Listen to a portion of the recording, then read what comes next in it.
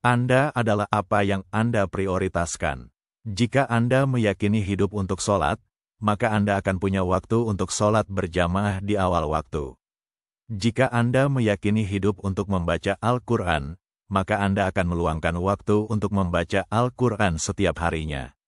Jika Anda meyakini hidup untuk dakwah, maka Anda akan menyediakan waktu untuk berdakwah, menjadi murobi atau mutarobi. Namun sebaliknya, jika Anda beranggapan hidup untuk bekerja mencari uang, maka Anda tak akan punya waktu untuk sholat, kecuali di akhir waktu. Jika Anda beranggapan hidup untuk berkarir mengembangkan bakat atau hobi, maka Anda tak bisa meluangkan waktu untuk membaca Al-Quran, kecuali mungkin di bulan Ramadan saja. Jika Anda beranggapan hidup untuk mengurus keluarga dan gaul, maka Anda tak akan menyediakan waktu untuk berdakwah, menjadi murobi dan mutarobi.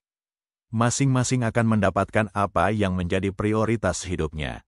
Disibukkan dengan apa yang menjadi prioritasnya. Jika prioritas waktu Anda untuk ibadah dan dakwah, dalam arti yang luas, maka Anda pasti mendapatkan dunia dan akhirat.